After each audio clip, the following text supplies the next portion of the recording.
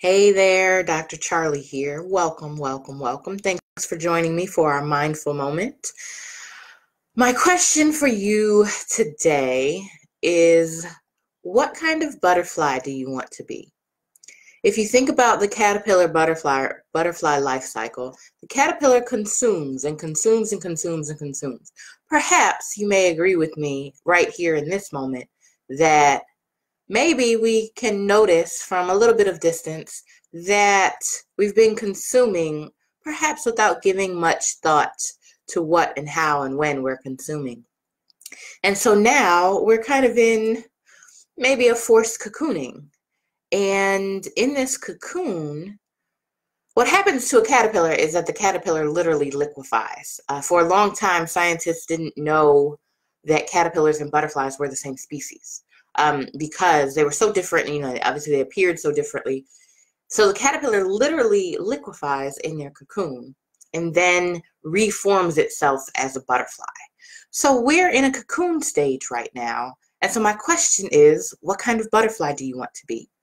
Notice about the consumption. The thing about liquefying is that the consumption served its purpose to get you to this point of liquefaction, of breaking down of all the things you thought you understood, at least the way you thought you understood them. And so, as we rebuild ourselves into butterflies, what kind of butterfly do you want to be? Do you want to be the same kind of butterfly as you were a caterpillar? Or do you want to be a completely different kind of butterfly where you take your component parts and you rearrange them into something that works better, something that can soar higher? Remember, butter, uh, caterpillars are basically um, they they live on the ground. They live in trees. They live in, in things that they can walk on. Butterflies, however, can fly.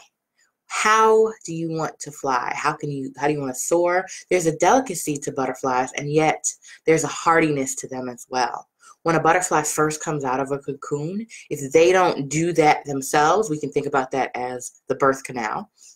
If they don't do that themselves, if they don't struggle through the the breaking open of the cocoon and wiggling themselves out, they'll die because that's where their wings gain the fortitude, the strength to be a full butterfly who gets to fly and soar and take great migrations across uh, thousands of miles in in groups but as this supposedly delicate thing so i want to encourage you that you're perhaps not as delicate as you think you are that you are hardy you are strong and you're in a cocoon right now so in this cocoon, figure out what your component parts are. Maybe they're creative. Maybe they're a lot more creative than you're allowed to do when you're at the office with other people. How can you incorporate that? Maybe they're prettier. Maybe whatever pretty means to you. Uh, butterflies tend to be very beautiful. At least in my in my estimation, they tend to be very beautiful. And yet, there's all that they had to liquefy. So think about this as our liquefaction process. And we get to be intentional about our basic building blocks. We get to be intentional about how we choose to put our butterfly together. So that's my encouragement for you today. Think about what kind of butterfly you'd like to be. That is not what I thought I was going to talk about. I'm going to check that off as something that I've talked about. Um, it is my esteemed honor to share this time and space with you. My name is Dr. Charli Brown. You can find me at my website, drcharlibrown.com. That's Charli with just an I, brown like the color. Also on Instagram and Facebook at Dr. Charli Brown for both of those as well. Until we meet again, I want you to take great care.